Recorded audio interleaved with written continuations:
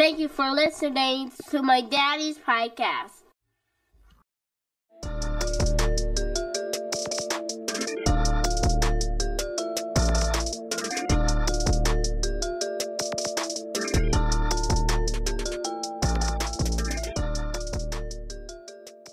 Hey, what's going on, sports fans? My name is Timothy J. Jones, and welcome to another edition of the Gumbo Pot Sports Podcast. It's where we talk about some of the hottest topics in all of sports. And before we get started, I ask that you hit the like and subscribe button. It just helps the channel to grow, all right? It helps the channel to grow, and I would really appreciate if you do so, all right? So, we're going to be continuing our talk 32 teams in 32 days. We're breaking down all 32 NFL teams. And we've already done a few episodes so far. So if you're new to the channel, go ahead and go back into the archive, check out some of the episodes we've done so far. But today, we're going to be talking about a team in the NFC North. Uh, we've already covered two teams so far the Chicago Bears and the Minnesota Vikings.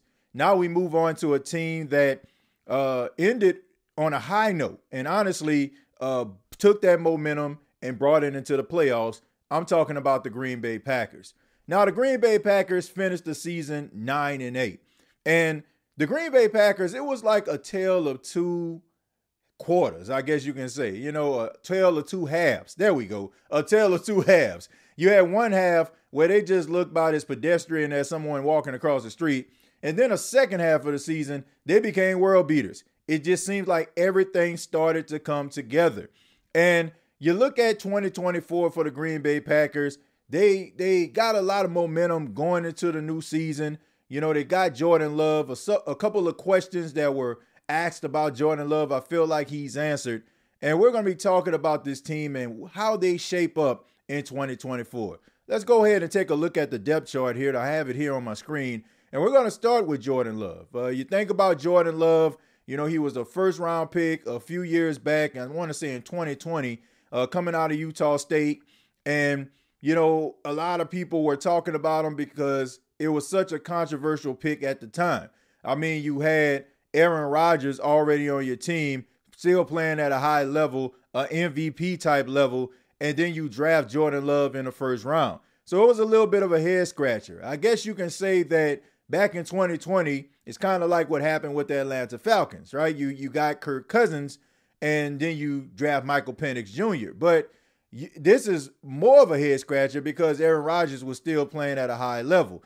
But all in all, Jordan Love sat on the bench for a few years, and it was time for him to shine. Of course, we know Aaron Rodgers goes to the New York Jets, and Jordan Love gets the start. And it was a little bit rocky towards the beginning of the season. I mean, it, it looked like the Green Bay Packers may have made a mistake drafting Jordan Love or moving on from Aaron Rodgers. But as the season progressed, we look at Jordan Love, he looked like a completely different animal than he did at the beginning of the season. He showed poise in the pocket. He, he made really good decisions. And the talent around him really stepped up for their quarterback. Looking at his stats, uh, as I as I pull him up, looking at his uh, stats, he had 4,159 yards. Uh, he also had 32 touchdowns and 11 interceptions. So I can tell you right now, the Green Bay Packers fans were extremely excited about what they see from Jordan Love. And I also have to say this: Can you find more prosperity than Green Bay has when it comes to franchise quarterbacks over the last almost 40 years? I mean, you think about it. Since Brett Favre, the Green Bay Packers have had stability at the quarterback position. Now, this is just one season under Jordan Love, but it kind of looks like they may have found lightning in a bottle once again because these stats that Jordan Love put up were is absolutely amazing. There's a lot of momentum that you can build on. I think that if you look at Jordan Love, he's a little bit different from Aaron Rodgers. He's kind of a, you know, he's a boisterous guy when he needs to be, but you never really knows know what he's thinking. Like he always seems like, you know, he's dialed in. He's never too high, he's never too low, and that's what you need from a quarterback. And I guarantee you just looking at the the the players that are around him, they they want to play for this guy. And um they have they have so far. So Jordan Love looked absolutely uh, spectacular last season. Started off a little rocky, but he definitely handled his business down the stretch. Uh, I expect for him to build on that momentum. We already know that he has all the tools. He has the big arm. He can throw the ball down the field. He can throw the ball on the run. Uh, he shows a really good pocket presence there. And also, man, you'll never really see him making, uh, you know, too many mistakes when it comes to, uh, you know, being in a pocket. Yeah, there'll be, time, there'll be a time where he'll throw a pass and you're wondering to yourself, what in the heck was Jordan Love thinking? But he also, you know, he also has amnesia. And you need that. You need that as a quarterback. You know, sometimes like when a quarterback starts throwing interceptions or turning the ball over, they start to really start second guessing themselves. I don't get that from Jordan Love. If he throws an interception, it's like it never happened on the next drive. And that's what you need. So Jordan Love definitely is a really good quarterback. Like what I've saw so far, him being in that starting role, I think that Green Bay have themselves another franchise quarterback. You lucky son of a gun. Uh, but we're gonna move on and talk about the running back position. We got Josh Jacobs to talk about. Josh Jacobs coming over from the Las Vegas Raiders. Uh, if you were to ask me, would Josh Jacobs be playing for the Green Bay Packers in 2024? I would have thought you were absolutely insane because they have Aaron Jones. And we know Aaron Jones is a beast too, but I, I guess Green Bay had other plans. Aaron Jones goes to the Minnesota Vikings, which is a good addition for them. And Josh Jacobs being a new addition to the Green Bay Packers is a plus for them. Now, I'm not buying into that whole, oh, it was an upgrade, Josh Jacobs over Aaron Jones. I'm not going to disrespect Aaron Jones like that because Aaron Jones in the NFL has been just as productive as Josh Jacobs. Now, Josh Jacobs, he gets the majority of the load when he was with the Raiders. So when you have a, a running back like Aaron Jones who had to share the backfield with AJ Dillon, you know, and you had Josh Jacobs, you know, he basically was the bell cow for the Raiders.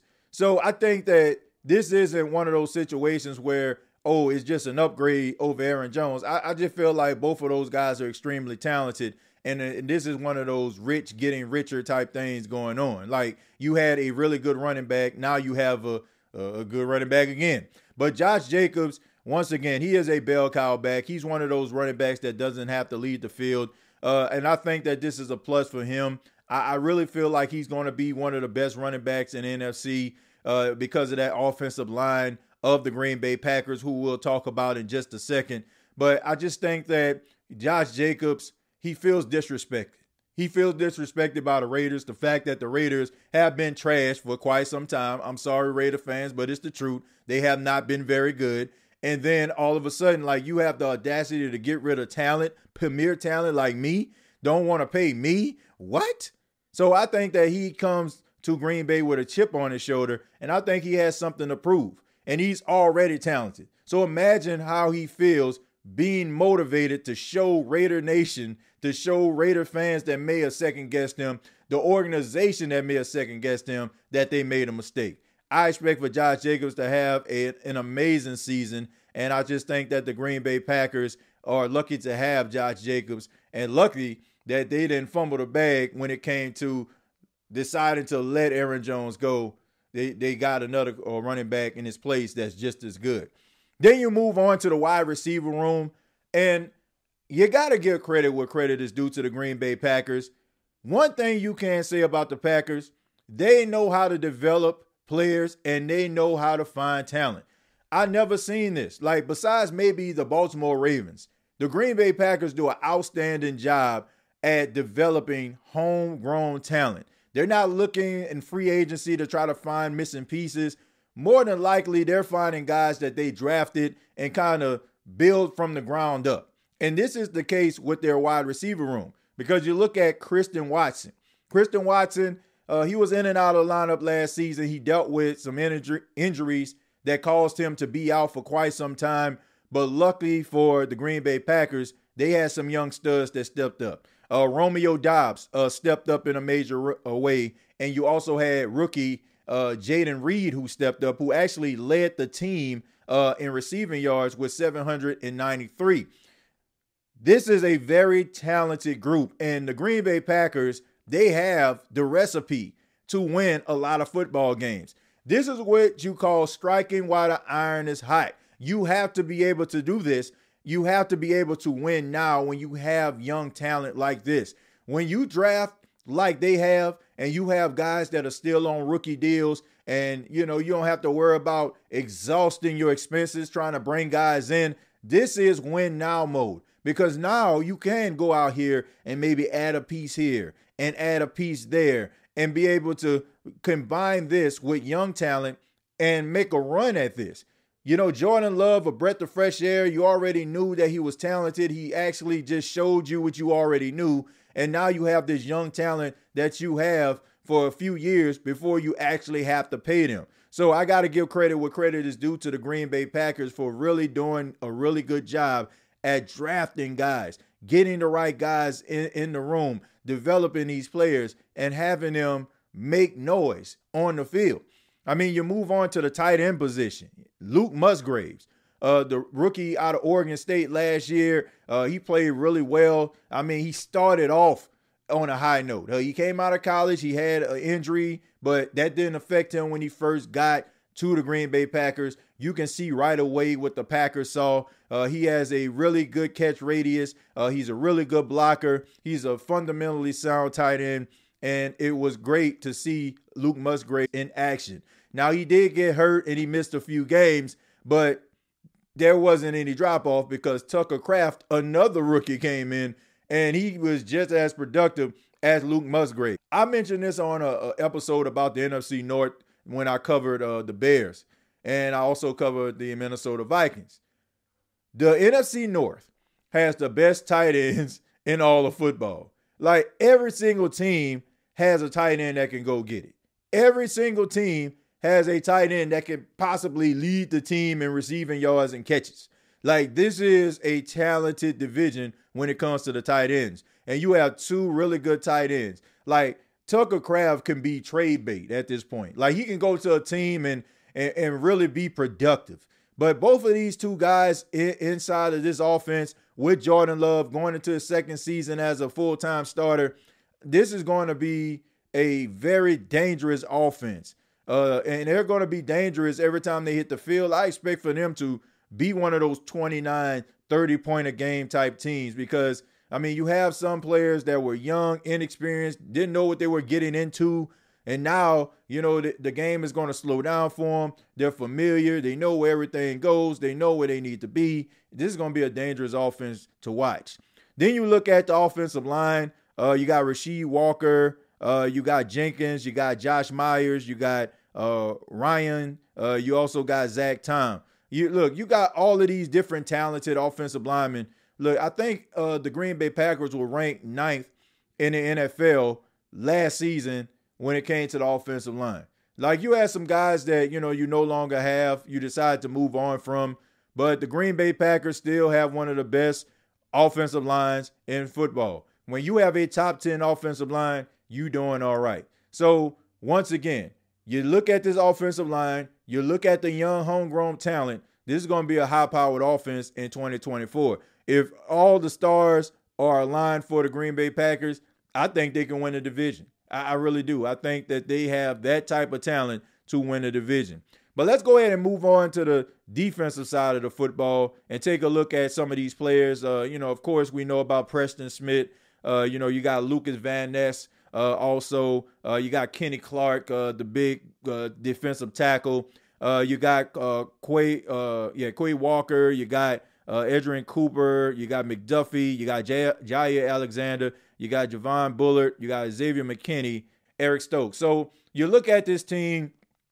Jaire Alexander, you know, he is the leader in the secondary. He's one of those top five cornerbacks that everybody likes. You know, a lot of people consider him uh, as the best t- uh, cornerback in football. Some people would, you know, argue that, but um, you know, he is a shutdown guy. He is a physical guy. He's not afraid to make a tackle. He's not afraid to get into the face of a wide receiver. You need that uh, in the NFC North with a lot of talent that these teams are building up. So you know, you look at Jaire Alexander, he is the straw that stirs the drink in the secondary. Uh, I also mentioned, you know, I'm missing Preston Smith. uh, and also mentioning Kenny Clark. Kenny Clark is a dangerous man. You know, a, a big a guy that big, super athletic, being able to move around. I'm going to go ahead and pull up some of these stats for some of these players here.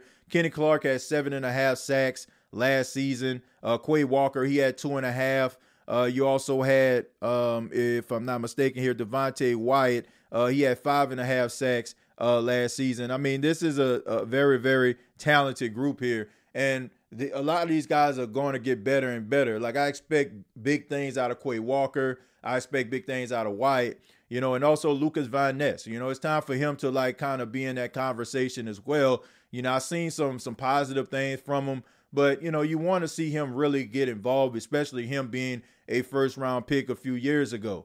But this defense is going to be, you know, legit. You know, it was, you know, it wasn't like one of those defenses to write home about last season. I want to say they were ranked like 17th. So kind of a little bit below middle of the pack. But I, think that when you have some of these guys that are going to, you know, kind of grow up a little bit and get a bit, little bit more experience, you probably would have uh, a little bit more productivity out of some of these younger players. So I expect for maybe a little bit of an uptick uh, when the defensive rankings uh, come out in 2024. So what do I expect from the Green Bay Packers in 2024? I expect for the Green Bay Packers to be a playoff team. I expect for the Green Bay Packers to be a double digit win football team. Uh, they won nine games last season. Uh, I expect for them to win at least 10 or 11 this season. And I, I think the offense is going to be high powered. Of course, you're going to need some things to work out. We all know that uh, you go into the season with these type of predictions, and then key players start to go down, and that kind of affects the, the number and the records. But I think that if all the stars are aligned, if everybody can stay relatively healthy throughout the season, I have the Green Bay Packers going to the playoffs and maybe having a deep run when they get there. But I would love to hear from you. What do you think about the Green Bay Packers in 2024? What do you think about Jordan Love's first season? What do you think about the addition of Josh Jacobs? What do you think about their defense? Or, or are you looking forward to seeing any of their players take that extra step? Comment down below, like and share this video. Thank you so much for checking out the Gumbo Pot Sports Podcast. Once again, my name is Timothy J. Jones. Previous episodes available on Apple Podcast, Spotify, iHeartRadio, Anchor FM. You can follow me on X at TJAY Jones 8, and you can check out previous episodes of the Gumbo Pot Sports Podcast by clicking one of these videos right in front of me.